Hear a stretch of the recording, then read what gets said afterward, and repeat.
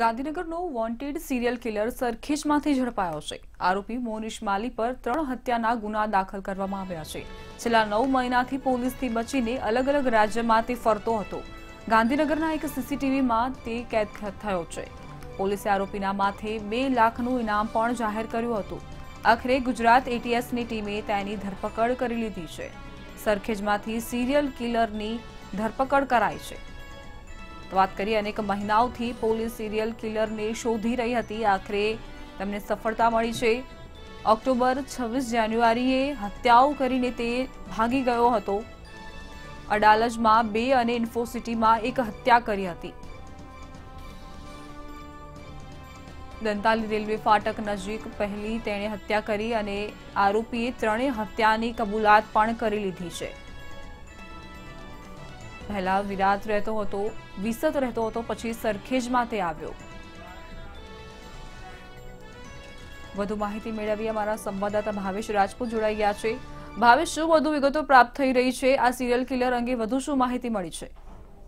દીપા એટીએસને સૌથી મોટી સફળતા મળી છે કારણ કે ગુજરાતની તમામ જે પોલીસ એજન્સીઓ જે વ્યક્તિને શોધતી હતી છેલ્લા અગિયાર મહિનાથી, તે વ્યક્તિને શોધવામાં એટીએસને સફળતા મળી છે. ખાસ કરીને ત્રણ જેટલી હત્યા નિપજાવનાર મદનની ક્યાંક ને ક્યાંક જે ધરપકડ થઈ છે જેના કારણે અત્યારે હાલમાં ગુજરાત પોલીસમાં સૌથી સારા એવા સમાચાર આવ્યા છે. ખાસ કરીને ગુજરાતના ડીજી દ્વારા એટીએસમાં ફોન કરીને આ અંગે શુભેચ્છાઓ પાઠવી છે અને જણાવ્યું છે કે ખૂબ જ સારી કામગીરી છે કારણ કે છેલ્લા અગિયાર મહિનાથી વોન્ટેડ આરોપીને શોધવા માટે ગુજરાત પોલીસની તમામે તમામ એજન્સીઓ લાગી હતી અને તમામે તમામ એજન્સીના સફળ પ્રયાસ બાદ હવે હાલ છેલ્લે કઈ રીતે સરખેજમાંથી આજે વોન્ટેડ કિલર છે, તેની ધરપકડ કરે છે, જેના પગલે હાલમાં ક્યાંક ને ક્યાંક જે લોકો છે, તેમાં ક્યાંક રાહત મળી છે, કારણ કે દસથી પંદર હજાર રૂપિયા જેટલી નાની રકમ માટે આ જે કિલર છે, તે લોકોને મારતો હતો અને બંદૂકની અણીએ પૈસા લૂંટી લેતો હતો.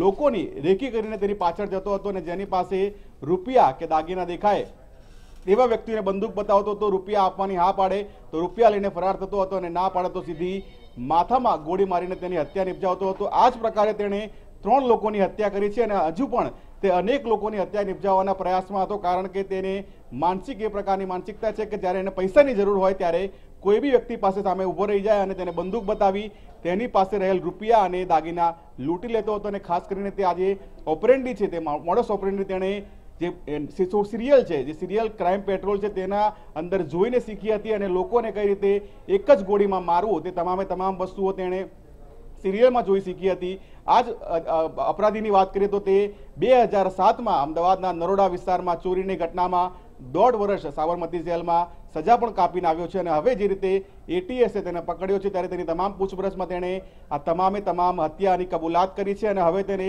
સીઆઈડી ક્રાઇમ ગાંધીનગરમાં સોંપવામાં આવશે અને તે બાદ તેને કોર્ટમાં રજૂ કરાશે. દીપા. ભાવેશ જે પ્રકારે આપે ઉલ્લેખ કર્યો કે ત્રણ હત્યાઓ તેણે કરી છે અને તેની કબૂલાત પણ કરી છે. અને જે સિરિયલ જોઈને આ પ્રકારે તે ગુનાહિત પ્રવૃત્તિઓમાં જોતરાયેલો હતો. આગળ પણ આ જ પ્રકારે તેની મોડસ ઓપરેન્ડી હશે તે વિશે પણ હવે માહિતી મળી શકશે પોલીસની આગામી કાર્યવાહી દરમિયાન. ખાસ કરીને વાત કરીએ તો આજે આરોપી છે તે મૂળ રાજસ્થાનનો છે અને રાજસ્થાનથી તે ગુજરાત આવ્યો હતો. ગુજરાતમાં અલગ અલગ શહેરોમાં ફરતો હતો અને તેને જ્યારે જ્યારે પૈસાની જરૂર પડતી હતી ત્યારે લોકોની પાછળ રેકી કરીને જે સુમસાન સ્થળો હોય તે સ્થળો ઉપર લોકોને પાછળ જઈને ક્યાંક ને ક્યાંક સવારનો સમય હોય અથવા તો સાંજનો સમય હોય કે જે અવર જવર ઓછી હોય તેવા સમયે લોકોની પાછળ જઈ તેમને બંદૂક બતાવીને તેમની પાસેથી લૂંટ ચલાવતો હતો.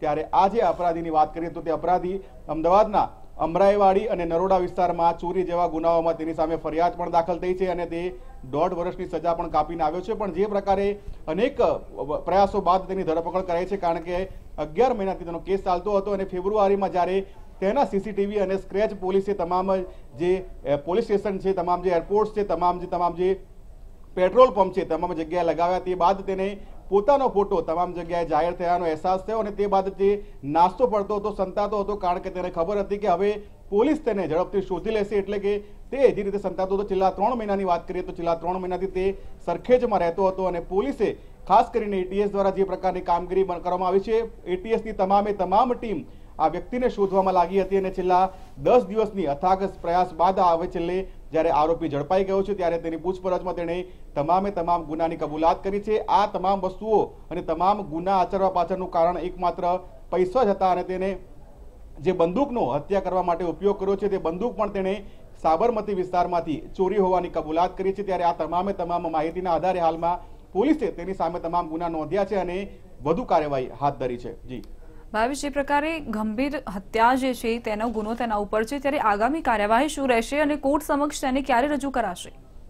દીપા, જે પ્રકારે અત્યારે પૂછપરછ ચાલી રહી છે, તેની ધરપકડ હાલમાં જ કરાઈ છે, એટલે હજી એટીએસ દ્વારા તેની તમામે તમામ પૂછપરછ કરાશે અને તે બાદ તેને ગાંધીનગર સીઆઈડી ક્રાઇમમાં સોંપી દેવામાં આવશે અને ગાંધીનગર સીઆઈડી ક્રાઇમ દ્વારા ફરીવાર તેની તમામ ઢબે પૂછપરછ કરવામાં આવશે. જે જગ્યાએ તેને હત્યા નિપજાવી, તે જગ્યાએ તેને લઈ જવામાં આવશે અને તે બાદ તેને કોર્ટમાં રજૂ કરવામાં આવશે, દીપા. જી, બિલકુલ. આભાર ભાવેશ માહિતી આપવા માટે. આરોપીએ ત્રણ લોકોની હત્યા કરી છે. સરખેજમાંથી સિરિયલ કિલરની ધરપકડ કરવામાં આવી છે. ત્રણ હત્યાઓ કરીને તે નાસી છૂટ્યો હતો, જો કે એટીએસને મોટી સફળતા હાથ લાગી છે. અનેક મહિનાઓથી પોલીસ અને એટીએસની ટીમો જે હતી તે કાર્યરત હતી કે કોઈ પણ પ્રકારે તેને ઝડપી પાડવામાં આવે. જો કે ત્રણેય હત્યાઓની કબૂલાત પણ હવે તેણે કરી લીધી છે.